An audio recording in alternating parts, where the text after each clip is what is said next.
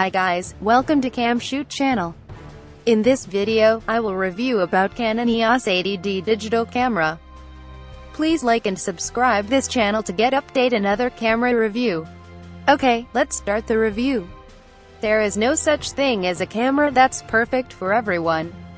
But that doesn't stop camera companies from trying to chase this idea and Canon's the latest to try.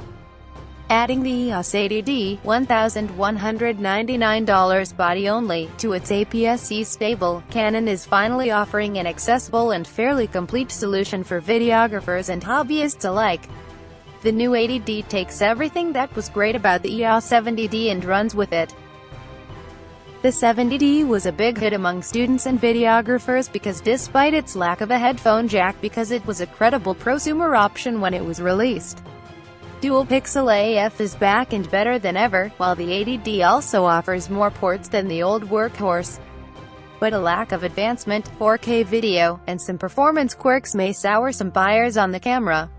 Design and handling Fans of Canon's previous EOS 70D will love the 80D, if only because the camera doesn't really rock the boat all that much with wild design changes. Canon took as much as they could from the EOS 70D and brought it back for the 80D, the weather sealing, the deep grip, the familiar interface, all of it. However, a new 24-megapixel sensor and a brand new AF system belie the appearance that everything is the same. Canon definitely listened to the gripes of its customers and retooled their APS-C powerhouse to meet the needs of videographers. Namely, you no longer have to shell out for an EOS 60 if you want a headphone jack, it's right near the microphone jack on the EOS 80D. Canon also made some tweaks here and there to improve the user experience. For example, the gapless coating on the LCD reduces glare considerably, and, even in addition, so minor as an NFC target on the side meets Android users. Who wants to futz with pairing the camera over Wi-Fi? It's a hassle most of the time. The control scheme of the 80D is remarkably straightforward, and very easy to pick up even if you've never shot with a Canon camera before.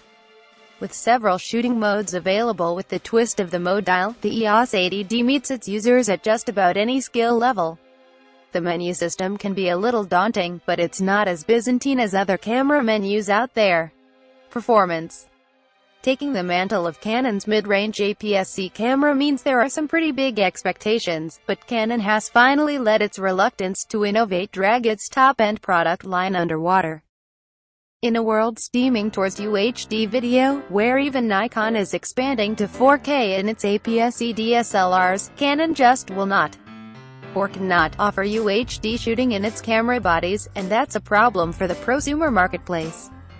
Performance-wise, the Canon EOS 80D has a lot to offer the right type of user, but very little for the wrong one. While Canon's an industry giant, the latest DSLR to bear their name is better for those who like to dabble in both video and stills, and not prosumer applications or students. I say this because the weak link of the whole product is the sensor's pixel size. By cramming in 24 plus million pixels onto a smallish sensor size, the 80D's sharpness will go down once you stop down past f5.8, though videographers and portrait shooters won't really notice or care that much. But aside from the lack of 4K video, that's really the only albatross around the neck of the Canon EOS 80D, the rest of the performance points are top-notch. Despite the quirks of the camera's hardware, it's buoyed by strong performance in pretty much any area that isn't resolution-related. Despite being fairly low res, the 1080p video shot by the 80D is top-notch because you can bump the frame rate up to 60 fps for more natural-looking motion.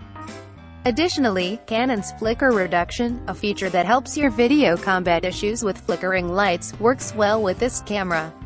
Color performance is decent, and most accurate when used with the Fine Detail preset. If something isn't to your liking, you can nudge the software sharpness, contrast, color saturation, and color tone, but the default profile is pretty good for most applications. If you really want finer control of your shots, shooting in RAW affords you extreme flexibility in post. Action shooters will appreciate the EOS 80D's 6.67 FPS continuous shooting speed, as the camera has all the right hardware behind it to handle long periods of burst shooting, even if you use RAW plus JPG. The 80D also works well with on lenses, which is fantastic for video and taking the quick snap in poor lighting conditions. Given the decent to good dynamic range of the camera, you can plan on nudging your snaps by about two stops before image quality suffers irretrievably. Shooting experience To give this camera a workout, I headed out on what I thought was going to be a fair weather day. Thought being the key word here. Walking through Cambridge to the Boston Common, I was able to grab some decent sample photos and video, the choppy clouds offering some periods of mixed hard and soft light. Using both the kit lens and the affordably priced EF 50mm f1.8 STM, I was able to get some decent shots without too much trouble. Canon's control scheme is very forgiving, and even though I'm more used to having my control wheels at my fingertips, I wasn't changing apertures very often. But then it hailed. I was immediately thankful for the EOS 80D's weather sealing because the mixture of ice and water pelting the both of us would have killed a non-sealed camera. I thought I was in the clear after the first band of hail forcing me under the bridge in the public gardens, but once I made it to the seafront I was pelted again. While I was able to shield the camera from the worst of it, at least I didn't have to panic once the sky got dark.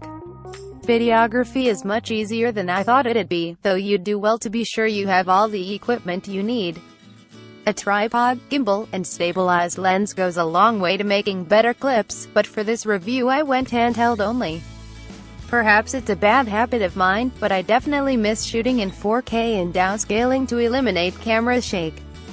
Not a company to mess with a good thing, Canon brought back the dual-pixel AF on the 80D, but with a substantial upgrade. Instead of leaning on 19 focus points like the EOS 70D, the 80D has 45 AF areas on the sensor, which Canon boasts offers better low-light performance.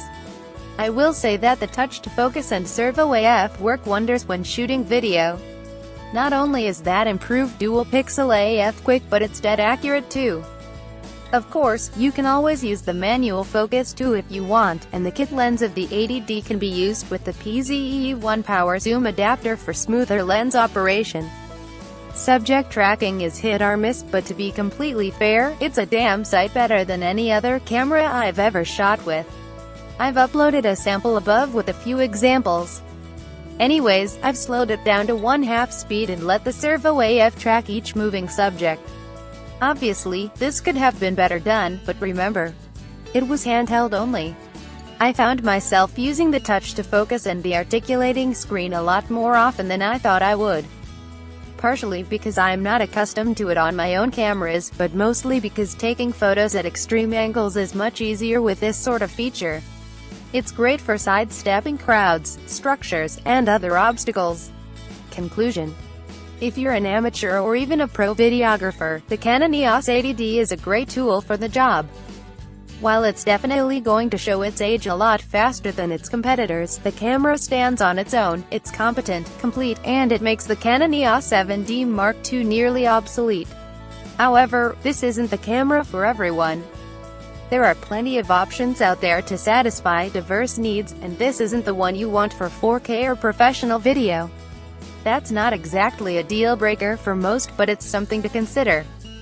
Taken on its own merit, the EOS 80D is great for sports photographers, videographers, and anyone looking from a step up from a Rebel DSLR. It's a good camera. It performs well, it's got all of Canon's best features, and is compatible with Canon's more professional accessories. But it's behind the times, and that's tough to swallow if you want to use your camera for a long time to come. Taken on its own merit, the EOS 80D is great for sports photographers, videographers, and anyone looking from a step up from a Rebel DSLR. You can get more in other systems if you're not already invested in the Canon lens system.